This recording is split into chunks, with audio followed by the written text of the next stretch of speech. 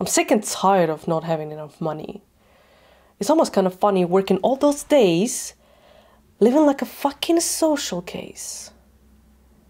Not enough for decent living. A nine to five slavery for this shit feeling.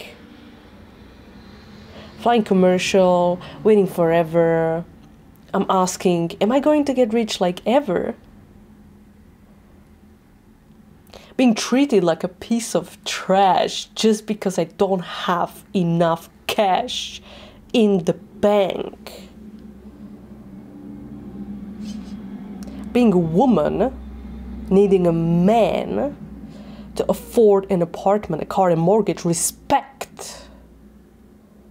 That's not true, but that's what they think.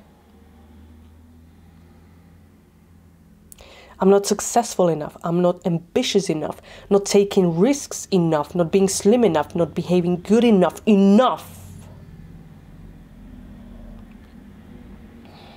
Get the fuck out of my face, the middle class, poor mentality, thinking about money all day long, can't sleep, can't eat, can't think. Money on my mind all day, all night. Being in the cage, locked up, can't move can scream and shout, it won't change a thing. Too tired of being too strong, waking up 5 a.m. every day, work hard, pray hard. What's it for?